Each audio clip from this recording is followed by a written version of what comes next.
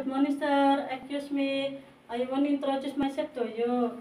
My name is Sylvie Mekasari. I come from Province Central Java of Indonesia. I'm 28 years old. I'm married. I'm Muslim. I have three children. My last education is junior high school.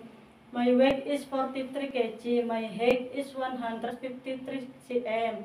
I have working experience before in Jakarta, three years from 2016 until 2018. My job is take care of the children, two years old, one years old, housekeeping, ironing, cooking, washing, and go to the market. Family member is five, member ama and two kids.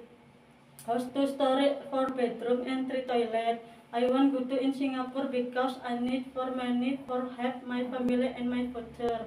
I'm promise working in Singapore until finish contract two years, maybe or more. I'm finished introduce myself to you. Thank you, ma'am. Thank you, sir.